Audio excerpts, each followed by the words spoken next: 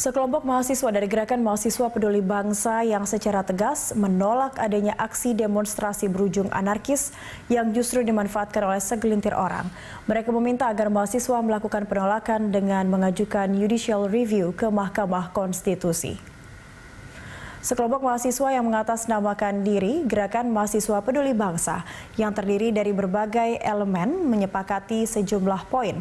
Di antaranya mendukung seluruh gerakan mahasiswa dalam menyampaikan pendapat secara demokratis namun tidak anarkis. Selain itu, mahasiswa juga mendorong pihak kepolisian menempuh cara persuasif dan menjunjung tinggi asas kemanusiaan dalam mengamankan gerakan mahasiswa maupun pelajar.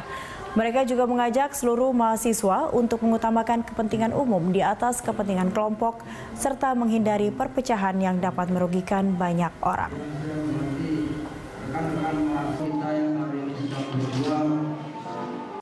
Nah kami di sini mengajak, ini sikap dengan tegas ini. Ayolah seluruh mahasiswa, mari kita bawa, kalaupun memang ada undang-undang yang hari ini dipersoalkan, ayo kita bawa ke jalur konstitusional kita uji di MK, kita adakan apa kita lakukan judicial review. Karena kan undang-undang ini dibentuk dengan jalur konstitusi. Mari kita bergerak untuk uh, mengkritisi ataupun membuat poin-poin yang mungkin itu akan merugikan katanya dari, untuk masyarakat Indonesia. Mari kita uji di komisi apa di